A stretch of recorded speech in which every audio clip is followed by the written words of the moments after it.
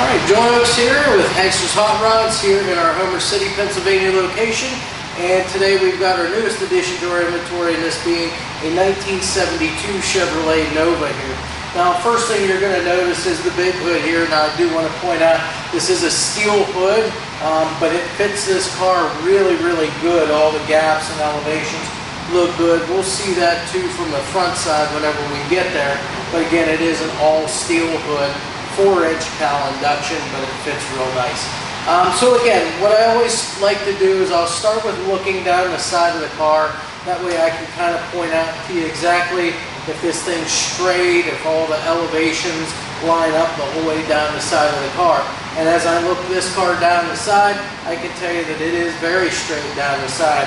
Our fenders, our door, and our quarter, quarter panel back there are all in alignment with one another. Uh, elevations are real good on that door where it meets the fender and where it meets that quarter panel back there. So again, the whole side of this car on the driver's side looks really good. Um, now this car has the chrome bumpers front and rear. We've also got the 350 emblems up here on the front fender on both sides. Um, now this particular car, when we bought it, they elected to go without the wheel lip moldings just to give it that nice clean look. So again, you'll see no chrome wheel lip moldings or brake moldings there. Um, tires on the front, 235 60 R15s, and these are mounted on 15-inch Cragar SS Mag wheels. And the chrome finish on these wheels very, very nice. There's no pitting, there's no marks on any of these. They look practically brand new. They look really, really good. As we walk our way back, we're going to stop here at the door at the front here. Going to take a look at our gaps here. We'll take a look at our front gap as well as the gap on the back side of the door here. And you can see that those gaps very uniform front to rear. So again, you can tell that that door's been adjusted really nice front to back, as well as in and out with those elevations lining up with the fenders and the quarter panels. Our, our car that we have here has both bullet style mirrors, both sides here, chrome mirrors on the driver and the passenger side. And those are manually operated mirrors. They're not remote mount, but they're real nice condition here. All of the bright molding up around the, the side windows here and your quarter windows all looks really good, nice and straight, polished up really nice. And on this particular car where we normally have the polished up drip rail moldings, this car, they've been painted on the same color as the car. So again, they look good. And then I also look down the channel here, your drip rail channel here, and you can tell that everything's been finished off real nice. I don't see any cracks or anything like that in any of that uh, the whole way along that drip rail molding. Uh, glass looks good here, what we have. I'm going to open our door up just take a quick peek inside as we'll get to this more in depth here in just a little bit. But you can see our blue exterior here continues its way into the inside of the car here as well. All of our seals and weather stripping around the door look to be in really good shape. There's no no uh, cracks or no tears or chunks torn out of it. Looks like it's been really well taken care of. Door panels look good. Our seat upholstery looks real good in here too. Carpeting, dash, all of that looks really good. Again, like I said, we will take a better look at that here in just a little bit. Our door shuts real nice and easy. Good solid thud there, so again, you know it's latched properly. And now as we walk towards the back of our car now, again, I've already mentioned that the body looks real nice and straight the whole way down the sides. There are no wheel lip moldings. Now our rear tires, a little different size here. We've got a 255 60 R15 on the back just to give it a little difference in rake. But again, mounted on those 15-inch Cragar SS mag wheels, they look really, really nice. All right, now that we're around the back side of our 72 Nova here, we'll take a look inside the trunk, around the back here, and then we'll close the lid and show you the outside portion of the trunk lid here. Um, now again, once you see inside here, we've got that same blue exterior paint as what you see on the outside. Again, it looks like it's been all polished. It's nice and smooth and shiny on the inside. Our trunk floor itself is in really good condition on this car. All one piece floor, there's no patching. All of your plugs, your drain plugs are all in place in here and it's been finished off with the correct black and aqua trunk spatter paint in here as well. Now there is no spare, um, no jack or anything in this trunk here, just real nice and clean. Looks like there is an amp back here, just a small amp for the stereo in here. So that's mounted up real nice to the back there. Got a couple of speakers I see in that package tray underneath. So again, you've got some music that you can listen to while you're out on your, your cruises there. All the weather stripping and seals around that trunk, you can see look very good. They're all, uh, all adhesive down. They, they look like they're in, in good shape. There's no cracks, no chips or anything like that. No chunks taken out of them. And they come together right in the center here as they should. So again, sealing up from the elements outside should not be an issue with this trunk. Again, everything looks to be super nice and dry inside here. Now we'll go ahead and close our trunk up and then we'll take a look at our back glass here and our moldings here. The moldings around the window, those bright moldings, those look to be in good shape, nice and straight, polished up very nice. The back glass looks to have just a slight tint to it, uh, and there's no cracks or chips in that glass that I can see. Uh, our paint's still all the same. It's got the white stripes on it. And by the way, the stripes on this car look like they have been painted and then everything's been cleared over. So that's been done very nicely and our gaps in elevation around this trunk lid. Gaps side to side look very uniform and again everything up around the top and around the back side here looks to fit really really nice on this particular car. Of course our tail panel back here we've got our tail lights here. The lenses in those look to be fairly new. There's no cracks or chips in any of those. And then our tail light bezels, the bright work around those tail lights look to be in excellent shape too. And you can see the seals underneath those too. Those all look to be in really good shape on both sides here. Also, again, we've got that big chrome rear bumper back here that matches the front. Again, the chrome finish is really, really nice in this particular car. So again, everything looks good. We've even got that Nova emblem back here on the trunk lid that actually lets everybody know exactly what you've got. So, okay, now that we're here on the passenger side, same thing that I always do over on the other side of the car. I'm going to look right up the side of this car here, take a look at quarter panel in relation to the door and in relation to that front fender. Make sure that our door adjustment is in line with everything and it is on this side as well as what it was over on the other side. So again, nice and straight down the side. There is no waviness in the bodywork whatsoever on this car. The paint's finished up very nice, smooth and shiny the whole way down. And again, that door has been adjusted. The elevations look really, really good on that door as far as the quarter and the fender are concerned. Again, like I said, we've gone ahead and uh, we do not have those wheel lip moldings on this car. Those 15 inch Cragar wheels the 255 60R15 tires on the back. Again, the molding, the drip rail molding on this car has been painted and as I look in the channel here, everything looks to be in good shape. I don't see any cracks or anything in the finish, so that's really nice. And our bright moldings here around our glass on the side here look to be really nice, straight, polished really good. Again, in nice condition here. Even the rubbers around that vent window, very nice. And again, I've already mentioned we've got the mirrors on both sides, both passenger and over on the driver's side as well. Now our gaps on this door here, you can see those gaps on the back side as well as over here on the front side here. Again, those gaps look very good on this door, so it's been adjusted both front to back and in and out on it for your elevations to look really good. Again, like we do all the time, we just open up this door here, take a quick peek inside here. Door panels look great. There's weather stripping around the door the whole way around, looks in really good shape. And again, our same blue exterior paint continues its way onto the inside of our car here as well. Threshold plates look good too in this car. So uh, again, we're going to get to that a little bit later when we get to the interior. We'll keep on moving here up to the front fender where you'll find our matching 350 emblem up here. Again, our side marker lights too, the bezels around those, and all the lenses on these are in excellent shape too. All right, now here we are now. We finally made the whole way around our car here. We've got the front end of our 72 Nova here now looking at us right now at the camera. So again, headlights on this particular car, just your traditional sealed beam headlights. So you've got your high and lows all right here, all in one unit. Glass lenses, and the glass in those is in excellent condition. There's no chips or cracks in that glass. The bezels around those headlights are in good shape too. They're all screwed in in place like they should be. All of our grill work and trim work also in very good condition on this car.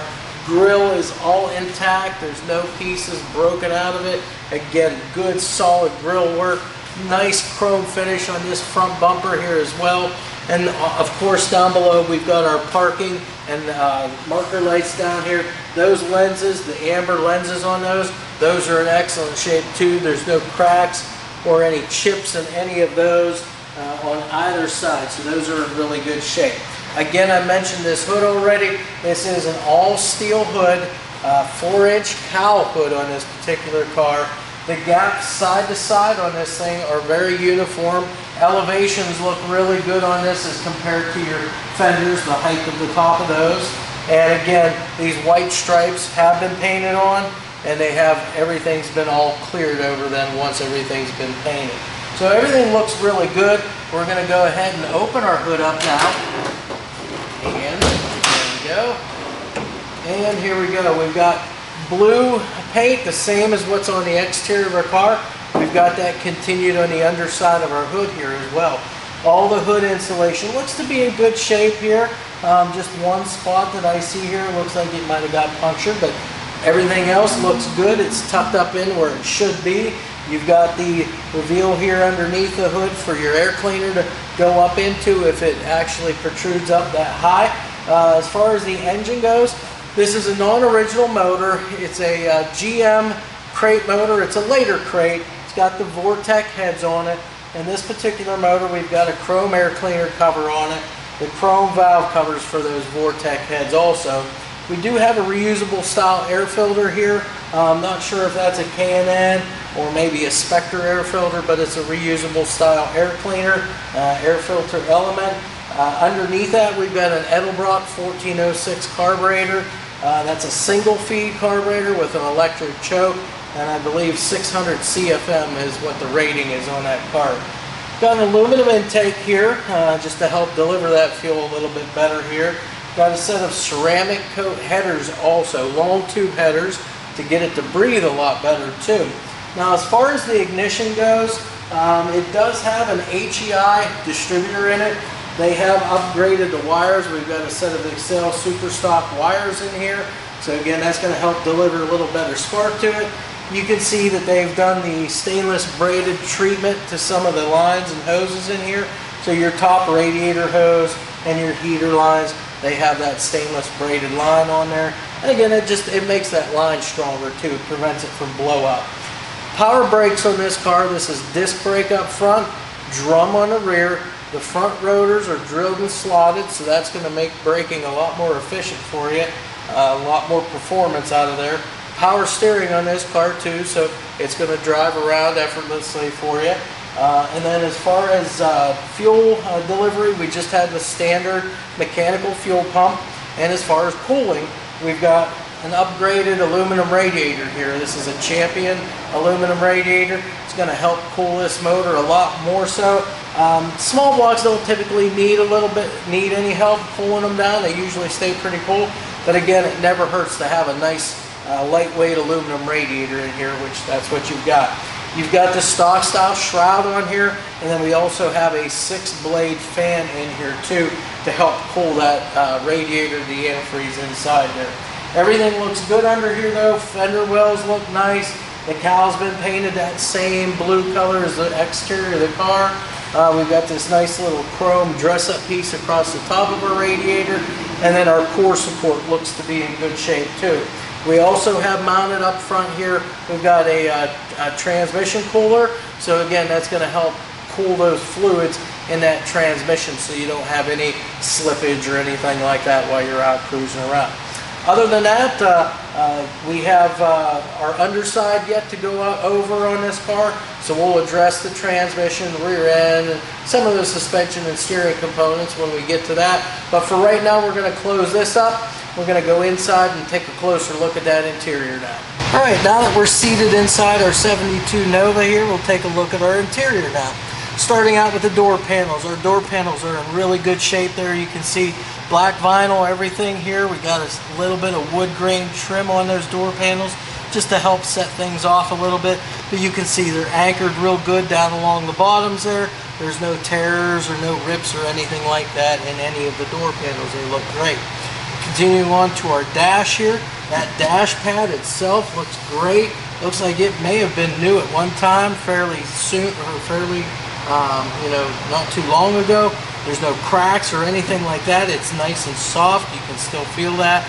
And the finish is really nice on that. As far as the instrumentation on the dash, it's all the factory instrumentation. So you've got your fuel gauge over there, and then you also have a 120 mile an hour speedometer over there. Um, those are intact and those are functioning. Um, you've got the factory style heater controls in here too. Um, now you see that this car is a column shift. So that's it's an automatic car obviously, turbo 350, but yes it retains the column shift. We've even got the front bench seat in here too, complete with the headrest in here also. The seat upholstery in this car looks great as a matter of fact. Matching upholstery both on the front and the rear seats Everything looks great. We've got front and rear seat belts also. So again, you can get in this car. You can put your family members, uh, if you have children, put them in the back and they're going to be safe when they get belted up there too. Uh, steering wheel, we've got an aftermarket, looks like a Grant sport style steering wheel here in this car. And then we have a Kenwood AM FM CD player in this car as well. Uh, also, uh, along with that CD player, we've got Speakers located down here in the kick panels. Uh, I mentioned when we were doing our trunk video that uh, we've got an amp back there and we've got a couple of it looks like 6 by 9 speakers back in that rear package tray also. So should have some, you know, decent sound there for some tunes if you want to while you're cruising. As far as the headliner goes, headliner is in excellent shape. There's no holes, no tears in it. It's tied up nice and tight the whole way throughout here. Got our dome light here in the center intact. Um, it looks like we have even the shoulder harness belts for this car all tied up along the side there of the headliner there. Even the sail panels in the back end here, the upholstery is nice and tight on those and those are in place. Uh, they're not uh, not falling out. They're, they're installed really nice back there. Uh, again, on our door panels, we saw the wood trim. We have that same wood trim back here on the panels in the back seat area here. Carpeting in this car is in excellent shape. Nice and black. There's no tears or holes in it. I see no no signs of really any wear, so they probably have replaced the uh, carpeting in this car at one time, uh, and it looks great. Um, the only other things really to go over on this car is the fact that they have installed a few aftermarket gauges. Again, that's just so they can monitor things a little closer under the hood here. Uh, things like your water temperature, your oil pressure, and your voltmeter. Again, all things that are you know really important if you're going to be out driving this car. Uh, you want to make sure that the battery's charging, make sure the water temperature doesn't get too hot, which again, having an aluminum radiator, I don't think you're going to have that issue. And then again, you've got your oil pressure, which we all know that's very important too. So, all right, we've got our 72 Nova here up on the lift now. So we're going to run through the underside here, point out to you exactly what we see underneath here. And uh, then, as we always do, we'll get it down off the lift and then fire that engine for you. Uh, as far as the underside goes, we'll start up here at the front, talk about the front suspension here real quick. Uh, it's all standard stock style suspension up here. Um, we do have a front sway bar here that's going to tie those two front corners together, help it whenever you're in the corners and so forth, uh, steer a lot better there for you.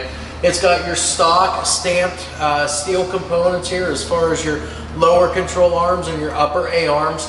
All of the ball joints, both top and lower ball joints on your A-arms there, those look good and you can tell that they've been greased and kept maintained very well. Um, shocks look to be fairly new on the front of this. Springs look really good.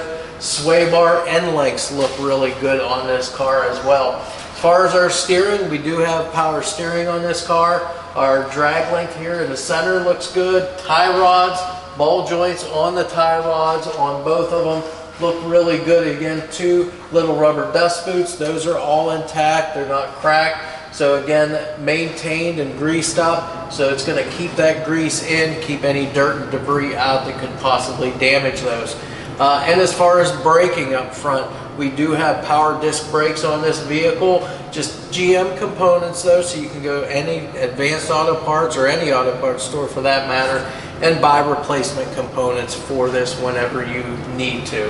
Um, as far as driveline goes up here, we do have the small block GM crate motor here with those modern uh, Vortec heads. Uh, that is backed up by a Turbo 350 automatic transmission. Now our transmission does have the flywheel cover, so that's going to protect that from getting any teeth chipped off of it, any road debris coming up in that could cause any premature failure there. And you can see it's got this nice chrome fin uh, transmission oil pan here too, just to add a little bit of looks to the underside of the car. Transmission cross member here is in excellent shape, nice and straight. The actual tail shaft mount here is in great shape too on it.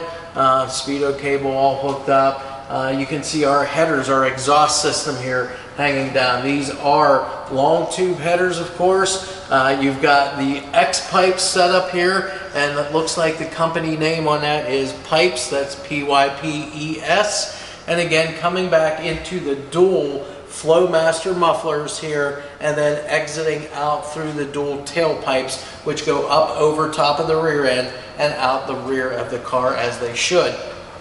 As far as the frame goes, we have our subframe up here. That looks to be in really good shape. It's nice and straight. It hasn't been banged in anywhere. I can see our body mount bushings up in here too. Those look great. They're not smashed, they're not cracked or dry rotted, anything like that. They look great.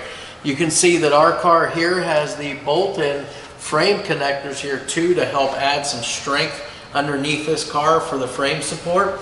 And then of course the floors on this thing look really nice too. All solid, all you know, complete floors here. The correct metal. Um, you can see all the stampings and everything. So it looks great underneath here. Even our rocker panels, uh, our pinch welds here along the sides of the rockers here too on both sides look really good. Uh, fuel and brake lines underneath the car look great. They're run nice. They've got that spiral wrapping around them to prevent against any kinking or when there's any kind of a, you know, a sharper bend in those lines. Um, and then as far as uh, emergency brakes, these are hooked up on this car. You can see all of the correct hardware here in the frame mounts. Got your J-hook here, got your intermediate cable wrapped around here back to the rear uh, cables that go to your drum brakes on the rear. Uh, and again, so that's all hooked up. As far as to finish out the drive line on this car, we've got a GM 10 bolt posi unit here. This is the 8.2 inch ring gear. As far as suspension on the back, multi-leaf rear suspension, new shocks on the back end. You can see those real good there. And then as far as the trunk goes, the floor that I can see up underneath here is in excellent shape. Good, solid, one-piece trunk floor. Our uh, fuel tank back here looks to be fairly new. They've got it all painted black underneath here to match up. But again, you won't see any dents or dings in the fuel tank. All of your mounting hardware, your straps, uh, bolts, everything that holds that in, in place are all very good condition. Like I said, tailpipes on this car going out through the back of the car. Everything looks really good. And then you have a chrome differential cover back here too, just again, just to kind of add a little bit of flash and flare to the underside of the car.